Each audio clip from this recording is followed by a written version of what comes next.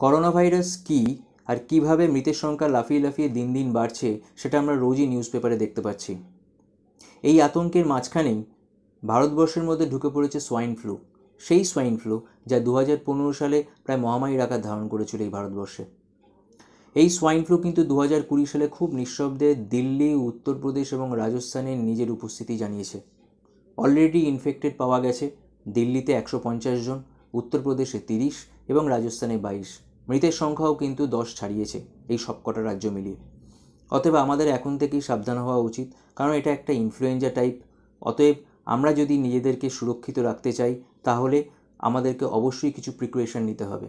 আমি এই ভিডিওটা তৈরি করার সময় বেশ কিছু অজানা তথ্য জানতে পেরেছি।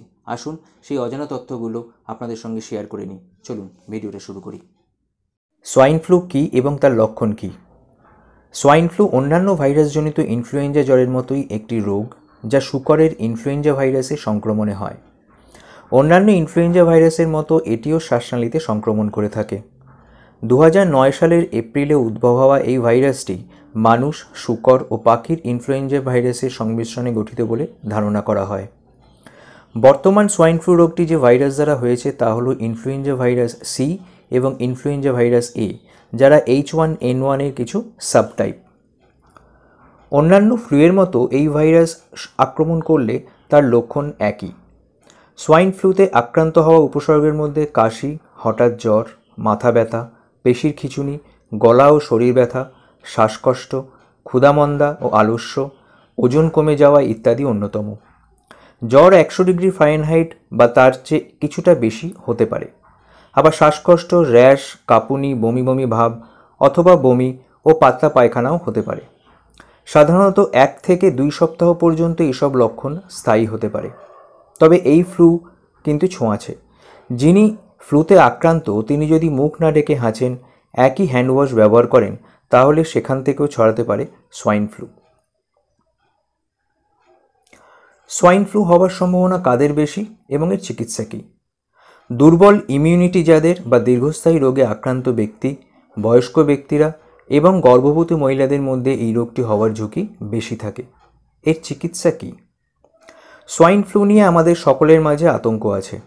এইচ ওয়ান এন ওয়ান ভাইরাসের মাধ্যমে হওয়া এই রোগের যদিও সাধারণ ইনফ্লুয়েঞ্জার মতোই লক্ষণ দেখা যায়, কিন্তু এই রোগের জটিলতার আশঙ্কা অনেক বেশি। তবে সতর্ক থাকলে সোয়াইন ফ্লু ভাইরাসের জটিলতা থেকে রক্ষা পাওয়া সম্ভব। তাই এ ব্যাপারে আতঙ্কিত না হয়ে সতর্কতামূলক ব্যবস্থা গ্রহণ করতে হবে। একটি নির্দিষ্ট সময় পর্যন্ত চিকিৎসা সম্ভব। মেক্সিকো এবং আমেরিকায় সঠিক সময় চিহ্নিত রোগীদের টামি ফ্লু এবং রিলেন্সা নামক ভাইরাসনাশক ওষুধ দ্বারা সুস্থ করা সম্ভব হয়েছিল। এইসব ঔষধ এই ভাইরাসকে সম্পূর্ণভাবে প্রতিরোধ করতে না পারলেও জটিলতা ঠেকাতে এবং জীবন বাঁচাতে সহায়ক হতে পারে। এই রোগে আক্রান্ত ব্যক্তিকে প্রচুর জল ও তরল খাবার খেতে দিন।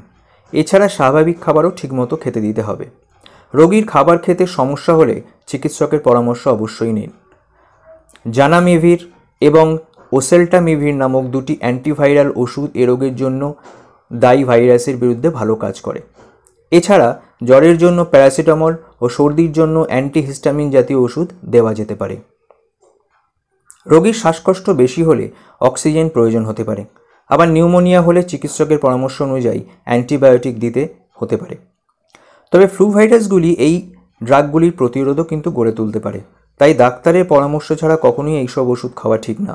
ডাক্তারবাবুরা রোগের গুরুত্ব বুঝে ওষুধ দিয়ে থাকেন। কয়েকটি স্বাস্থ্যকর পদক্ষেপ রয়েছে যা এই রোগের প্রতিরোধে আপনাকে সহায়তা করতে পারে। সংক্রমিত ব্যক্তির সাথে যোগাযোগ এড়িয়ে চলুন। পাবলিক প্লেসে বেরোবার সময় মুখোশ ব্যবহার করুন যা আপনার নাক ও মুখ ঢেকে রাখবে। বিশ্রাম আপনার ইমিউন সিস্টেমকে সংক্রমণের বিরুদ্ধে লড়াই করতে আরও বেশি সাহায্য করবে। নিজেকে হাইড্রেটেড রাখতে প্রতিদিন দু লিটার জল পান করুন। খাওয়ার আগে হাত, সাবান ও জল দিয়ে ধুয়ে ফেলুন। মাংস, বিশেষ করে মুরগি এবং শুয়োরের মাংস সত্তর ডিগ্রির চেয়ে বেশি তাপমাত্রায় রান্না করুন। সোয়াইন ফ্লু আটকাতে প্রতিদিনের খাদ্য তালিকায় কী কী রাখবেন? মটরশুঁটি এবং শিম। এই সময় এই দুটি সবজি বাজারে পাওয়া যায়। তাই খাদ্য তালিকায় অবশ্যই রাখুন মটরশুঁটি ও শিম।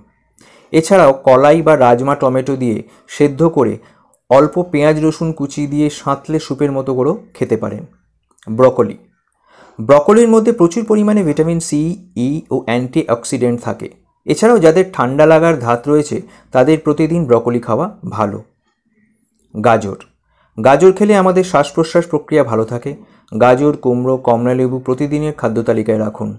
এসবের মধ্যে বিটা ক্যারোটিন থাকে, যা ভাইরাস ব্যাকটেরিয়ার বিরুদ্ধে লড়তে সাহায্য করে। Low fat yogurt. Full cream মিল্কের থেকে তৈরি দই নয়, জল ঝরানো টক দই খান। ফ্লু থেকে দূরে থাকতে কিন্তু এগুলি সাহায্য করে থাকে। এছাড়া নিয়মিতভাবে আদা, রসুন, হলুদ, গোলমরিচ ইত্যাদি খান। রোগ প্রতিরোধ ক্ষমতা বাড়াতে এদের জুড়ি মেলা ভার। আশা করি এতক্ষণে আপনাদের কিছু ভ্যালুয়েবল ইনফরমেশান আমি শেয়ার করতে পেরেছি। আপনারা সবাই সুস্থ থাকুন, পরিচ্ছন্ন থাকুন, সংক্রমণের হাত থেকে দূরে থাকুন। এই প্রার্থনাই করি। যদি এই ভিডিওটা আপনাদের সত্যি ভালো থেকে থাকে, যদি মনে করেন যে আপনাদের আত্মীয় স্বজনের উপকারে লাগবে, বন্ধুবান্ধবের উপকারে লাগবে, তাহলে অবশ্যই খুব বেশি করে শেয়ার করুন লাইক করুন, আর আমার চ্যানেলটিকে সাবস্ক্রাইব করুন। আজকের মতন এইখানেই থামছি। এর পরবর্তী ভিডিওতে অন্য টপিক নিয়ে আপনাদের সঙ্গে দেখা হবে। আজকের মতন নমস্কার।